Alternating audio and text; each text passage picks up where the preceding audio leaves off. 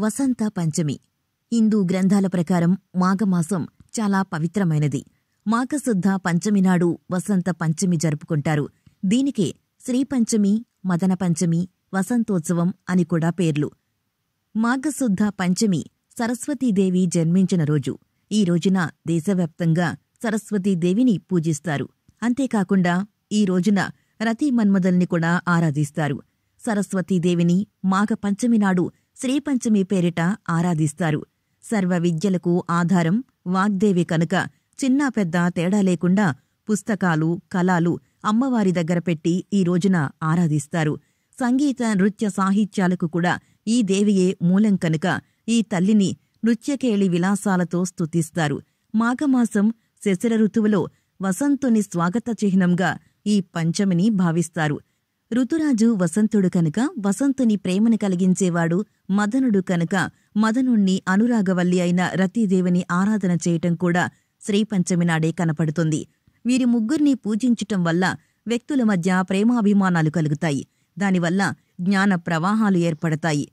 వసంత పంచమి రోజు పిల్లలకి అక్షరాభ్యాసం ఎందుకు చేస్తారంటే ఈ వసంత పంచమి రోజున అమ్మ దగ్గర అక్షరాభ్యాసం చేయిస్తే పిల్లలు జ్ఞానరాశులవుతారు.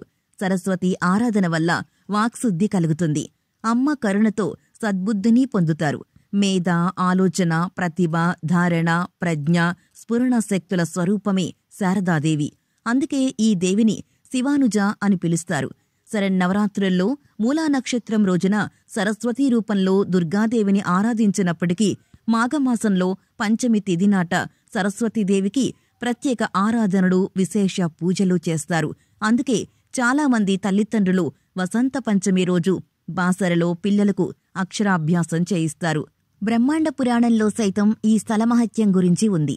కురుక్షేత్ర సంగ్రామంతో మనసు చలించిపోయిన వ్యాసులవారు ప్రశాంతంగా తపస్సుని ఆచరించేందుకు గోదావరి తీరంలో మధ్య భాగమైన బాసరకు చేరుకున్నారట. ఇక్కడి గోదావరిలో స్నానం ఆచరిస్తుండగా వ్యాసులవారికి సరస్వతి సాక్షాత్కరించి ఇసుకతో తన విగ్రహాన్ని రూపొందించమని చెప్పిందట.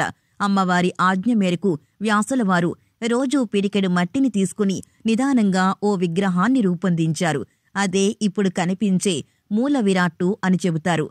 ఆ మూల విరాట్టుకి నిత్యం పసుపు రాస్తూ సరికొత్త రూపుని భక్తులు దర్శించుకునేలా చేస్తున్నారు పూజారులు. అహింసకు అధినాయిక సరస్వతీదేవి. సర అంటే కాంతి.